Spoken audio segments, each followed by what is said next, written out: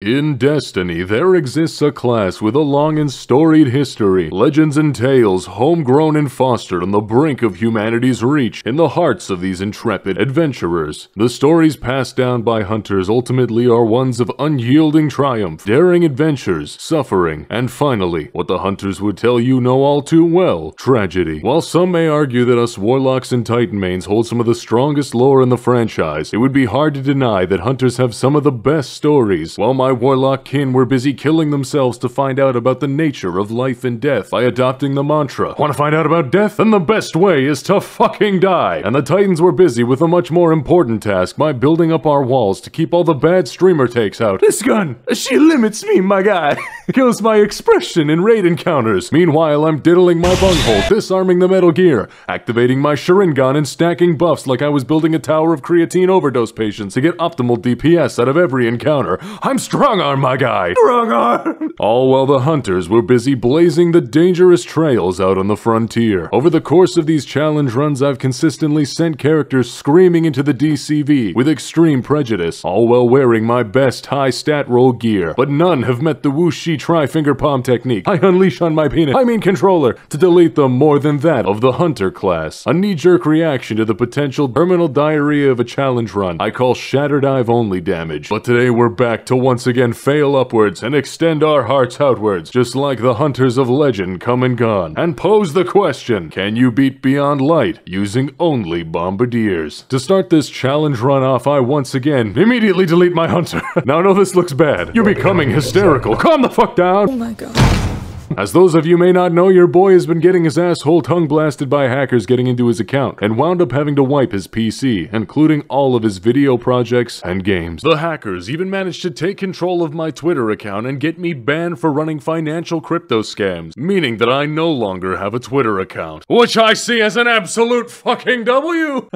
I actually had this challenge run finished, but thanks to getting double dicked by those that would hurt this Hot Wheels parking lot profit, I had lost it all. But mama didn't raise no bitch, and I'll be damned if Papa Rai calls it quits. We here at Rylee Reloaded do a little rising to the occasion, meaning that I'll do it again. I'll fucking do it again. Even if it hurt. My hunter is then once again content vaulted in what I could only assume would be considered a grand betrayal in his eyes, because we just pulled him out and son of a bitch, I've got to take off my bombardiers. we create a new hunter sporting the holy color combination and once again begin our journey. We are then greeted as, as, nah shit, I'm running out of billionaires that are trying to get to space. Now that I think about it, it's pretty odd that all the rich guys are just trying to leave. They must have been stuck on War Priest for 8 hours and still missed the day one emblem. I can't use Zuckerbot because he's too busy trying to put us all in VR so he can hatch his lizard babies without us noticing. Is that fucking barbecue sauce on your shelves? That is not a bedroom item! Hello, fellow humans. I too do human things such as the eating and the barbecue saucing. I know I mention it every time, but just listening to that opening Destiny music gets me amped up. It's like 8 years of history and nostalgia boners being beamed into my skull.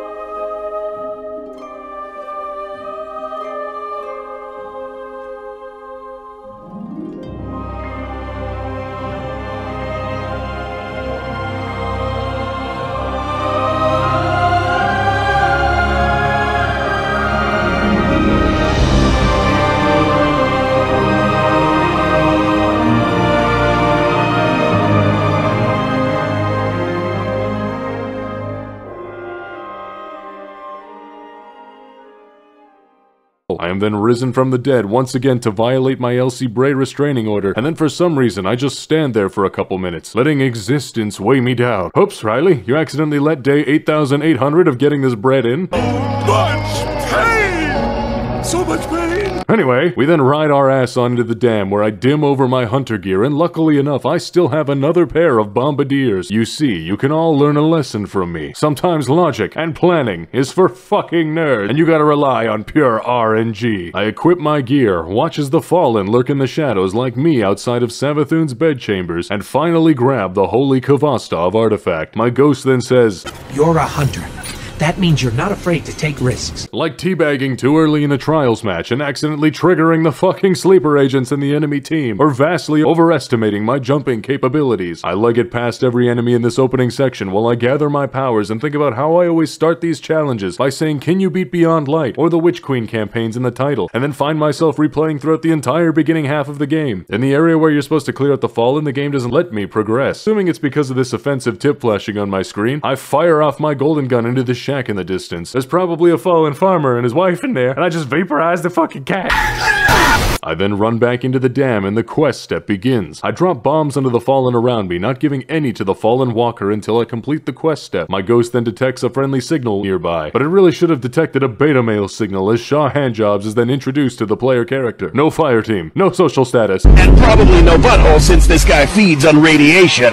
My ghost says, We got your distress call and that we're here to help. Even though I can feel the testosterone leaching from my body as I merely exist in his presence, he tries to bail out of hanging out with me by saying, Sit tight, I'll help you out soon. But Buzz Lightyear claps back by saying, I've made it this far. To which Shaw Han is immediately persuaded. I then retake control of the fallen jammer by leaving a little gift surprise, and once the signal is restored, I race towards Skywatch. I then pull out Sagira's shell, which took me way too long to get, and a ship that radiates a mad adorable factor, and paint them with the beautiful colors of the Hot Wheels Messiah. I inspect the shield generator, explode the servitors guarding the terminals, and enter Skywatch. Something nice about this run is that with Bombardiers and Acrobats dodge, I can regain my class ability extremely quickly, meaning that instead of waiting 3 plus minutes for a super like in the Witch Queen super run, I can consistently deal damage at a pretty impressive rate, and since in Beyond Light and in base Destiny content, the enemies fucking explode when you even think about doing damage to them, this becomes a breeze. I clear out the room before where Shaw Han's friend is getting the good suck from the Hive Wizard, and then give her the Meta Hunter treatment. Shaw Han only gives his friends a minute of remembrance and then says, oh well, better finish the job. But now that I've finished the Schism mission, I can play Beyond Light unimpeded, not giving up on the opportunity to regain some masculinity by taking to the fucking stars. I immediately yeet and skeet my ass into orbit. Immediately afterwards, the Witch Queen campaign intro begins, where we get to see the Cabal in blue ships carting over a massive gun to point at Savathun's ship. Funnily enough, in this cutscene, you can see that the ships and the gun itself are blue, but once you're in-game, the Cabal are back to being the Red Legion colors, even though Kaido's Legion had her own army in the seasons prior. Then, in a sick game to tease me because I am easily swayed into doing things the fucking hard way, the game puts up the difficulty selection screen. I told myself, just do Beyond Light, Rylee. Calm down, man. Because after getting titty twisted by the hackers, I needed something easy. Destiny had arrived. And I sat on the screen for two minutes, honestly contemplating if I should do it or not. But in the end, I ultimately backed down. Because you should have honestly seen all the comments I got saying, Rylee, why you gotta always delete the hunter? And there was this one with a little sad face behind it. And, and since I've been so cruel to my hunter mains out there, I decided that it was time to give them sweet retribution my getting up to power and then taking on the Shatter Dive only legendary campaign run. To which I'm not sure if I should allow grenades or not, because if I don't, that challenge gonna be a whole lot worse. I then also decided it was time to bestow one of the highest honors I possibly could upon my hunter, and I headed off towards the appearance screen. I worked tirelessly, handcrafting a set forged by the gods themselves, one that would make mere mortals tremble at the sight of the overwhelming power within. And I whipped up this bad boy. God, this armor fucks! and with everyone in the audience once again sodden by Rylee's fashion endgame, it was finally time to begin Beyond Light. Variks then partakes in one of my most deeply entrenched fantasies, walking through deep snow and nearing my destination after a long journey, but with purpose. He then enters a research station and sets the splinter aside, to which Dami Mami Elsie Bray snags it and vanishes. Eramis and her homies roll up to fade Variks like a bad trip to the barber, and we cut to the most beautiful guardian that has ever walked this frigid moon, giving me mad Goku vibes as I've got my gi symbol on the back. I love how this DLC starts with us on the edge. They all scan the same. Empty. And even though all throughout Destiny's history we've been actively fighting against the darkness to try to secure our place in the universe, nearly every character in this DLC just goes, alright, fuck it, friendship with the light is over. Darkness is my new homie. I'd at least expect Zavala to go, Stop! But instead he just says, you keep doing you, buddy. I remember I went up to Lord Saladin after unlocking my powers in the first Iron Banner that came back, and he said that if I continue down this path, then he will have no choice but to hunt me down. Then I loaded up the game mode and was getting fuster clucked by six stacks of Shatter Dive Hunters. It's not broken, you're just bad, kid. As they kill a Titan in a bubble with a grenade and a bunny hop. The nightmares, they're coming back. After the mission starts, I begin to mod out my gear. I make sure to add in as much mobility as possible to give all the metagaming min-maxers a brain aneurysm, and begin my journey on the frigid moon. I still love the fallen catches, and watching them move around is always such a treat. The season of plunder has them all over, and I love it. But one moment that stands out to me is this one from Destiny 1, where you take a moment to briefly connect with your ghost on the back of a fallen catch. Every ghost is born knowing that we have to find our guardian. We don't know what they look like. Not on the outside, anyway.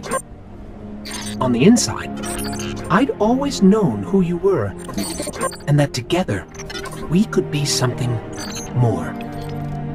When you think about everything we've seen, everything we've done, I feel like I made the right choice. Hmm. We should let Shiro know how it went out here. Let him admire his handiwork. And thanks, you know, for being my guardian.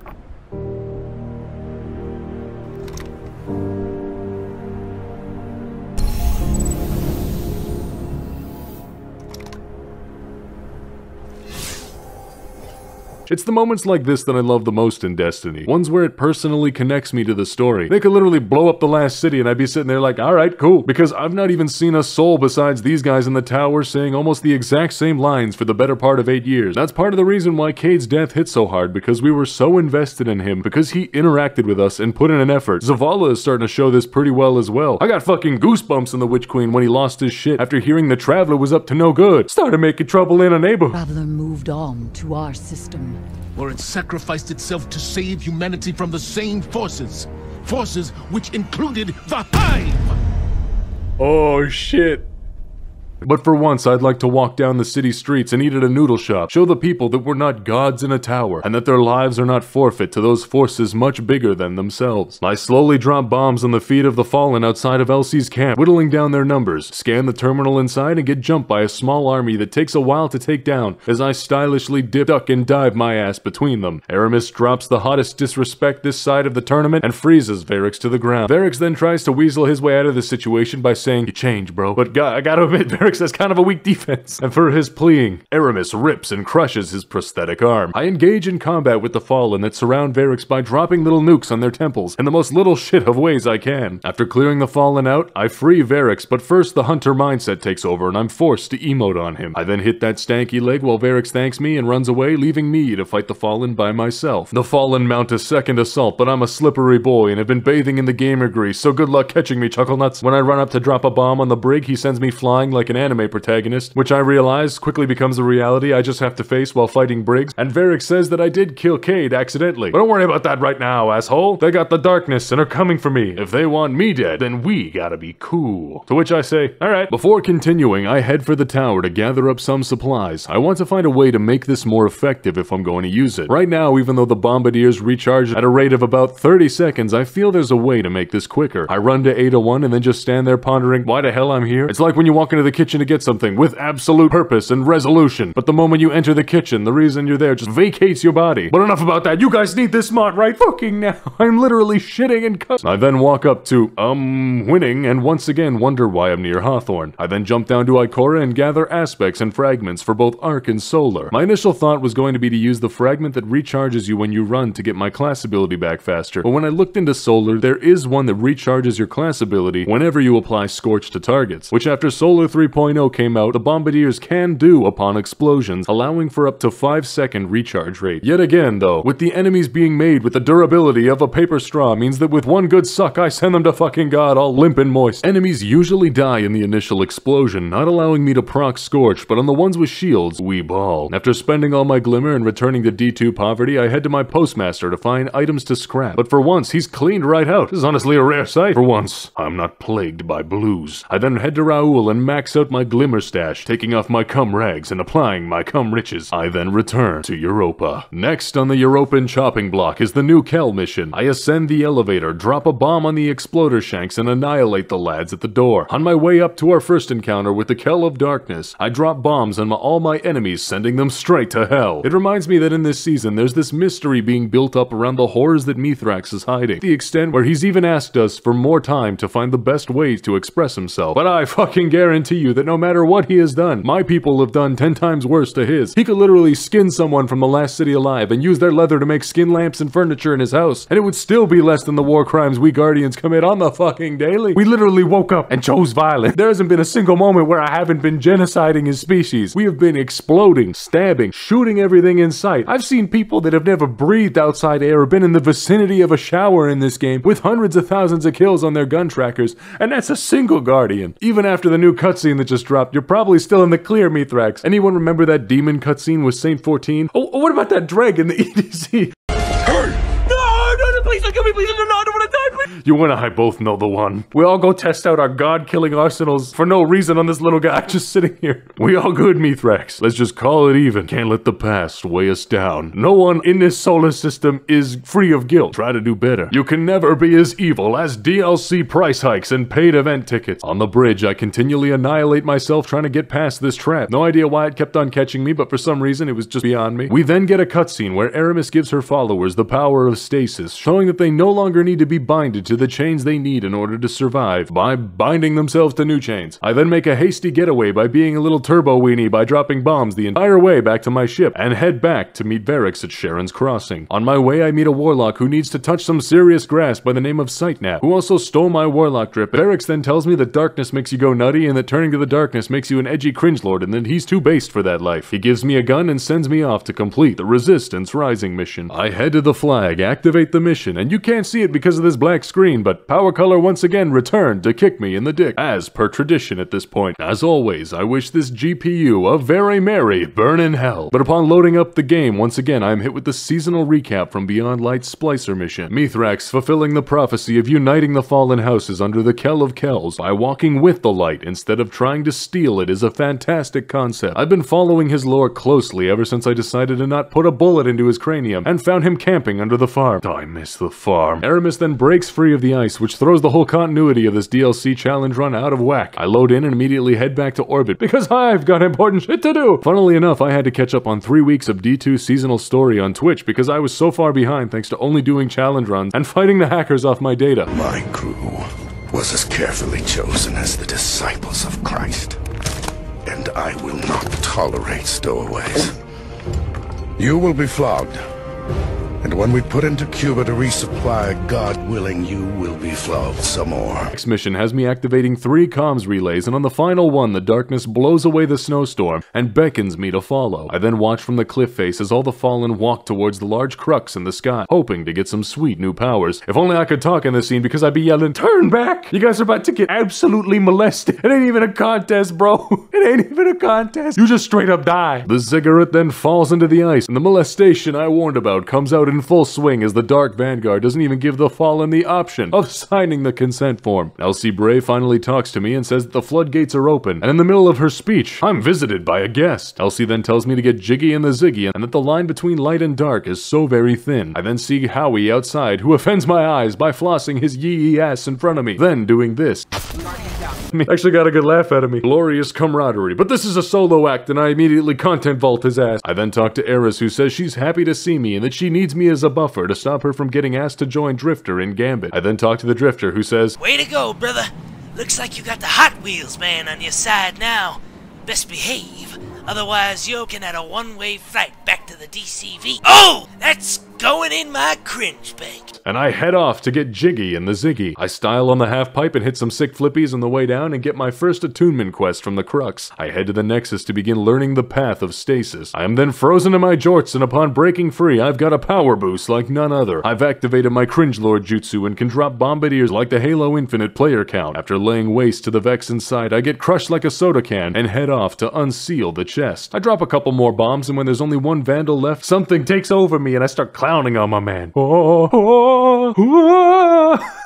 the hunter mindset is slowly infecting me. I said in the Beyond Light melee only run that when I play hunter, I feel a lot more memey, as though I just want to be a jokester. You wouldn't hurt me, would you? A silly little trickster? Just a jokey little meme guy, would you? We then talk to Variks, who says that I walk a dangerous path, but I've used one ply and know what it's like to live on the edge. A wise man once told me, he who wipe with one ply run risk of stinkfinger. We then hit the European trail to go goblin mode on the warrior's ass. Rylee's hunter, once DCV'd, now the bringer of the DCV, descends upon the warrior and her kin. I always found this quest step ironic because the main goal and themes of this DLC is to free the Eliksni people from their misguided delusions of following the darkness by showing them the error of their ways. We do that by busting into their new home made out of salvage and crushed dreams and just start massacring their people. You never really think about it, but every Eliksni you kill here is another one that won't go home to his wife or vaporize cat. I drop bombs on their platoons and then I realize that this task is going to be tougher and more time consuming than I'd like. Thankfully, I see a Guardian attacking some Vex who salutes me, and I use the universal Guardian language to get him to descend upon my foes. Without hesitation, this warrior of the Chadley type rolled in and started blasting the Fallen with extreme prejudice. We even had this Guardian Shodan show up to save my ass from the distance. I then rocket away to kill the last platoon, and when the brig ships begin to fall in, I go hunting for my friends to get that sweet, sweet unpaid labor. But they completely shrug off my advances, leaving me extremely flaccid, and add further insult to injury, they pop a sick drift and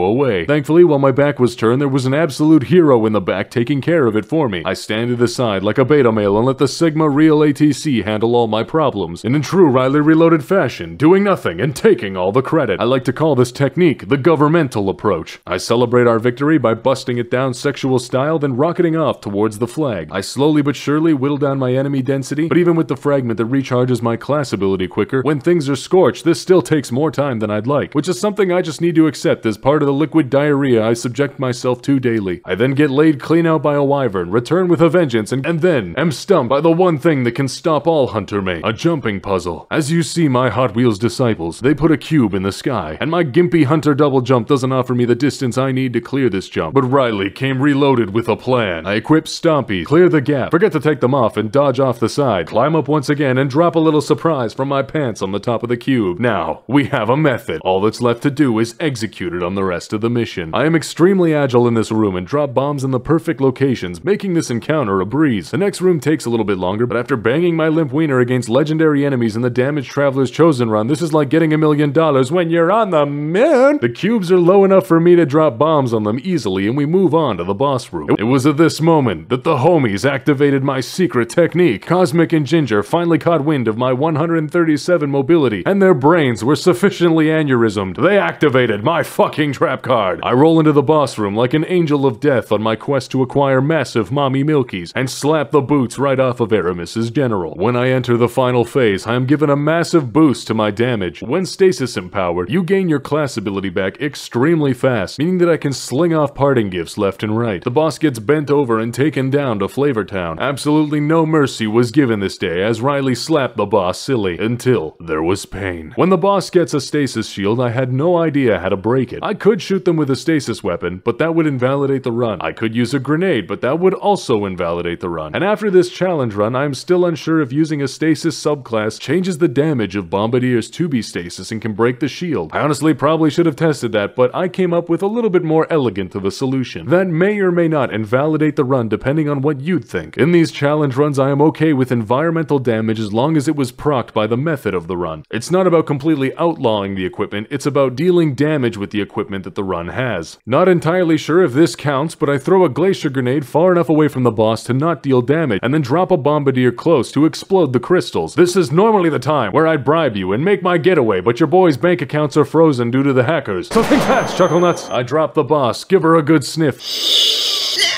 And upon coming out of the mission, I once again let the weight of never being enough take over. We then return to Elsie Bray, who tells us that darkness places a spotlight on her desires. Bitch, you notice and still wonder why I'm outside your house all night. She then tells me to look within and focus my power to let it grow. Oh, something's growing, alright. Are my nipples so long? I then get jiggy in the Ziggy, head towards Bray Exoscience, get stuck on the stairs. Come on, Bunch, you know we're driving down here. You know I'll do whatever I can to get my sparrow in weird places. Beautiful scenery, though. I love your artists. And when the darkness puts me in the tummy hurdy stance, I go fucking wild on the fallen inside. They manage to catch up to me, and due to having the mobility of Usain Bolt on crack cocaine and the resilience of a redditor, they lay me clean out. Ooh! Ooh! and we return to talk to Variks. Variks lets me know that Praxis figured out how to use the darkness and now uses it to craft evil equipment like a BMW with heated seat subscriptions. But there's one thing they didn't account for, and that's Papa Rye, who died on the parking lot cross for your low prices. This Hot Wheels mange messiah is coming to give you the Canadian Super Slurper 9000 Praxis. Now I won't bore you with the busy work, but I'll have you know that trying to gather the tracking modules that are already slow to drop in tiny clusters of enemies that spawn far away with only bombardiers is about as fun as drinking out of a sewer drain. I collect the trackers and head for the conflux. I clear out the enemies slowly but surely, and once the shield is down, your boy once again becomes stuck. Bungie put these way too high in the air for me to reach. My first thought was to assemble the Avengers, but alas, I was left on red. I tried Zeno, Jade Rabbit, and Ultra Tough Geico, but not a soul turned up in my hour of need. That was until I pulled the most advanced move a Destiny player has ever seen. One so unbelievable it is enough to shake the entire Destiny community to its core. I threw up my hand jutsu signs and summoned the one thing a Destiny player has never experienced. I sacrificed PvP.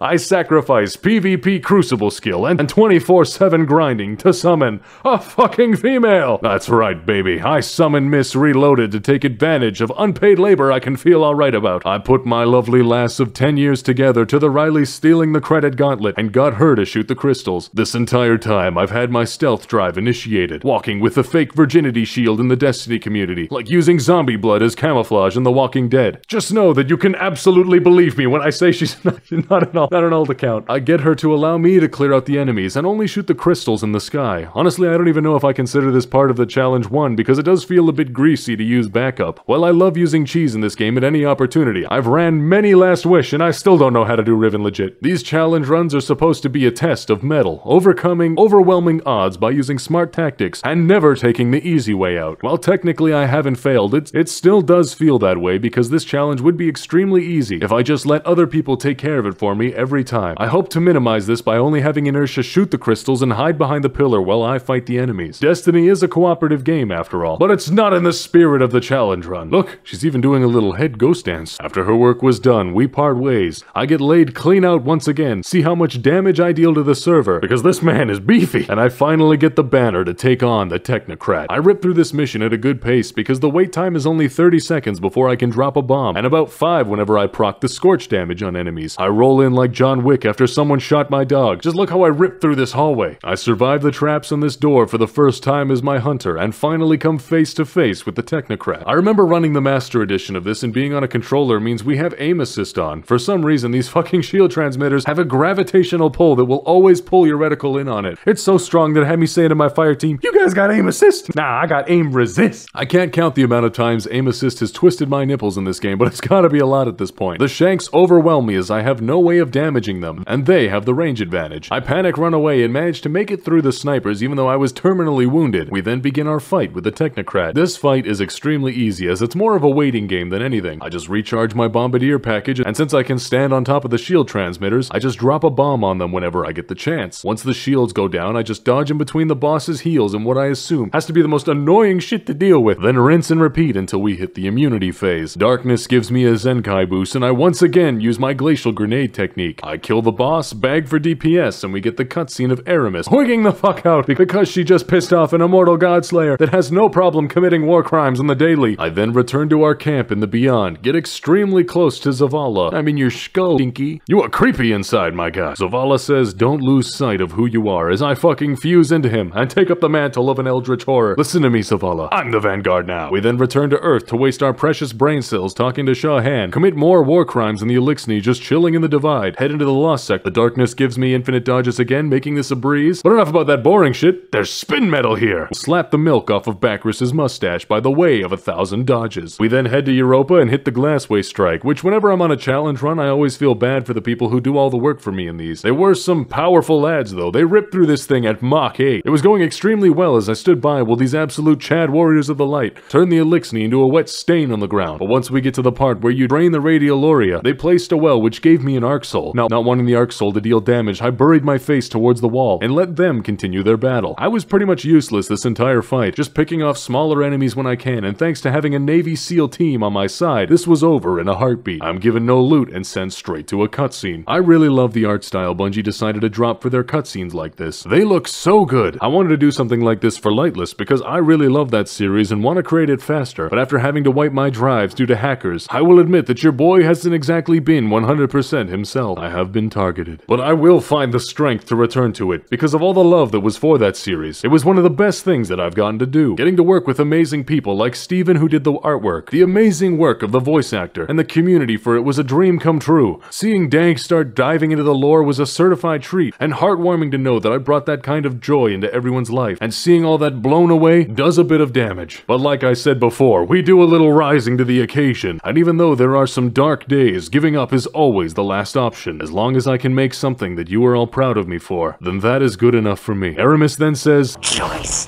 but to use darkness to rip, shred and tear through every single one of your kind. Some Bungie dev has been playing a little too much Doom. Then Elsie says that use the power within to control darkness, which I would have liked to see us struggle with a bit more. But alright, power within, and we activate our next seal in the ziggurat. I am then tasked with heading back into the fallen city, re reborn, but on my way I notice a ton of sparrows on the elevator. Just look at this whip! Damn, that's cold! Well, I can't leave this public parking violation in good consciousness and give them the old kablooey. I commune with the darkness, enter the diarrhea stance, and drop little bombs all over the room. This room sends out a lot of snipers and exploder shanks that consistently keep me on the move. If only there was some way to take more damage! Maybe some sort of stat for that or something. I get laid out many more times, get the power zucked out of me. Barracks then gets me to free his people from Eramis's cold clutches, which equates to only freeing a single skiff. You're telling me, Variks, that in an entire gigantic city of Fallen, only a single ship of people were like, yeah, this shit is whack. The rest were sitting there yelling,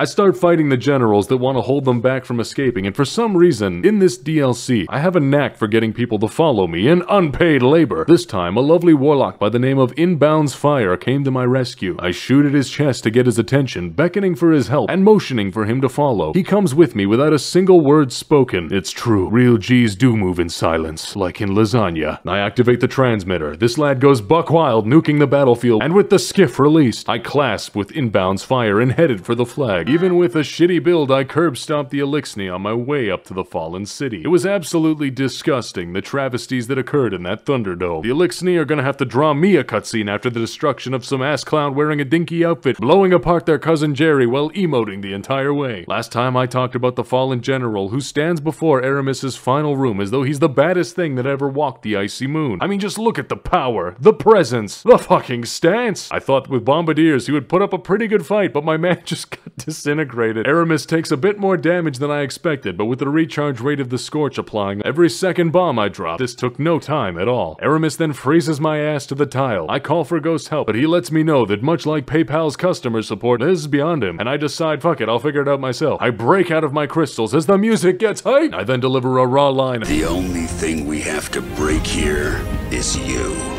And then it ain't even a contest. Eramis gets folded like a lawn chair, faded like Rylee on the pipes, creased like Payless shoes. I just dodge around her ankles like I was the best player on the basketball court. Thankfully, the dodge, for some reason, ignores the stomp mechanic, meaning that I can just continue this mental deficiency play until I've won. I honestly wish this fight was a little bit more harrowing. It doesn't feel like a proper Rylee Reloaded video unless you've gotten the same feeling of getting surprised by a bidet. Eramis then freezes with arms outstretched towards the pyramid in a setup for a story that will come much, much later from this DLC start point. I enter the pyramid to fully unlock my stasis kit once again. Talk to Elsie Bray, who says the darkness got a hold of everyone in her timeline. I don't know, that sounds kind of like a skill issue to me. I then return to the tower to end my Beyond Light journey. I always seem to end Beyond Light on a crisp morning in the tower. I swear they updated the graphics because this is breathtaking. I talk to Zavala, who doesn't say anything but makes disturbing facial gestures at me. It's okay, Zavala, just beam the info into my brain. Oddly enough, he's still charismatic as he does this. Well, either way, he gives me the same amount of info he would if he was talking, and with this little adventure out of the way, I beat Beyond Light using only Bombardiers. Thank you, guys for watching. I've been put through the ringer over the past little while thanks to the hackers, bank accounts frozen, and more. It's just been a mess. So honestly, it's heartwarming to see the channel at the size it's at and the support while you guys wait for your boy to pick up the pieces. I want to take this moment to give a huge thanks to Lizard who's been cooking up these thumbnail outlines and Inertia for doing the coloring on them. They've been doing an amazing job and I'm honored to have their skills on this. Like, did you see that super one? That was gorgeous! In the meantime, I've been streaming a lot on Twitch. It's just easier to de-stress that way after seeing all my files just vanish. The one thing I want more than anything is to be around on the channel a lot more for everyone. Something that everyone on Patreon is helping me draw closer and closer to. So I want to give a big thanks to Cameron Scholes, Mr. Captain McDaddy Clutch, amazing! Rycon 6, Kiggle Borpin Topilup Shard to say, you sit here little shit! KXNG Kitty Bitty, Garrett Kane, Demetrius, Joshua Greenleaf, Pepsi Main, Magneto, Uncertain, Judd, NT Pin Hero, The Cosmic Essence, Arliss McGuire, Zarin King, Sensei Smo, Mordaunt, T7 Code 99, Ivy Stevie, Jonathan Blaylock, Cozy from the Discord, Kenneth, Eamon Smith, 128 symbols, not bad, 128 symbols, not bad, not bad, story time! Why do you hate me, lizard? Lamotion. Lamotion. Lamotion? Riley Sheldon. My god, you actually spelt it right. Glorious. Now I'm suing you. J-Lock. Boston. Azure Knight. Lone Ranger 2412. Got, got a new PC Capone. No, no, no, no. I'm doing this so late, they're all getting me laughing. Tekka Sovan, who won that contest all those eons ago. Dank Devastation, your lightless provider. Zerx 14A. Max Copeland, Nadian Syrup, X9, X9, X9, X9, X9. Ben the Unit Stanfill. Hecate XD, 7228. Kari Simpson. Caleb Warman. Kevin Noda. Ban me. Your boy, Gamer Weenus. Nathan Dacia. Delegator Valkeen. I'll get to it. Please forgive me. Thrumond and Dragon Waffle. Take your damn money back, BB. Hot Wheels Enthusiast, which confused me the first time I saw it. But I see it's you, Dagrapon. Kefnet the Useless. Nathaniel Farmer. CO Camo 3. Arson is Cringe. Crimbo Undying. Madeline Celestia. Bogos Binted. Super Steven, the very same. Mondo 117. James Escalante. Omega Null. Samarchi Deskhopper. Xavier Human. And Fufu Akio. Yet again, not to get all sappy, but you guys have done a lot for me and upgraded my equipment, allowing me to bring more videos quicker. I'll revamp the Patreon soon enough and be more active so it doesn't feel like your help goes unwanted. But I hope this short one has been good enough for now. I've been Rylee, and I'll catch you in the next one.